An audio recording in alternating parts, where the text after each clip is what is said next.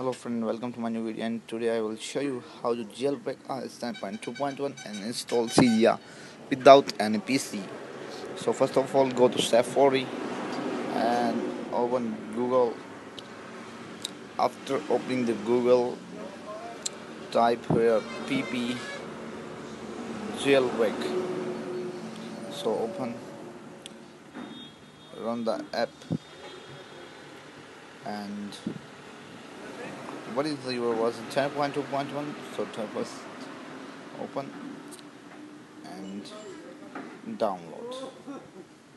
And it will download your profile pengu so here is my pp and now you have just need to go to settings. And then after go to general and profile device management.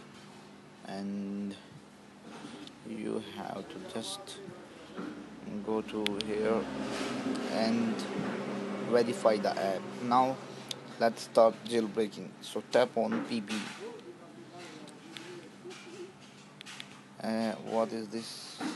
Again type pb and you will show jailbreak is running.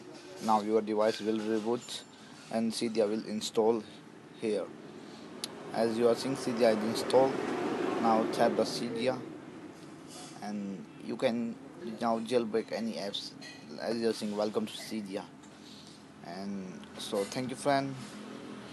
Hope you are enjoying. Like my video and subscribe my channel